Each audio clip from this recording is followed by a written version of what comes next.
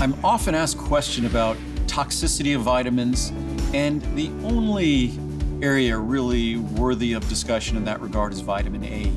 Um, absolutely not an issue with any of my products because we don't use any preformed vitamin A in any of our products. That's just not something we do. Actually, truth be told, in our prenatal vitamin, there is a small amount of preformed vitamin A because that's the one time when it would warrant being consumed. Otherwise, preformed vitamin A is actually not beneficial for our health.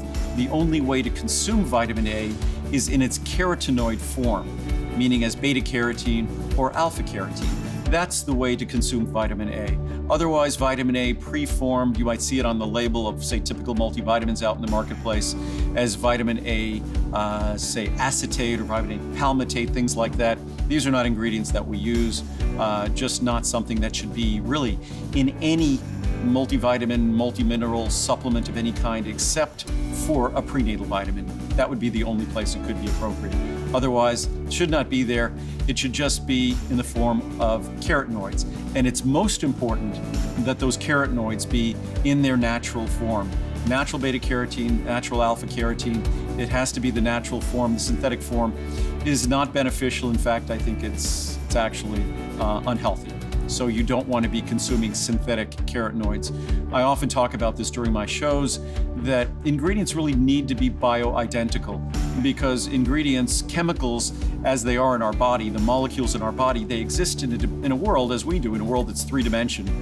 And one of the simplest analogies I give is I tried to put my right handed glove on my left hand, it won't work.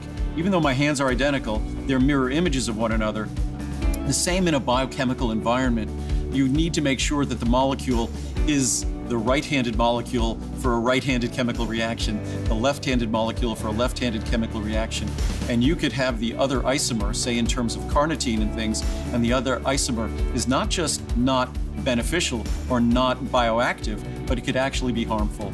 So you want to make sure that your supplements are bioavailable. I digressed a little bit from vitamin A, but vitamin A is not something that we need to be taking separately at all. In fact, we should not be taking separately at all. We should simply be getting our vitamin A in terms of a supplement in the form of a natural based carotenoid.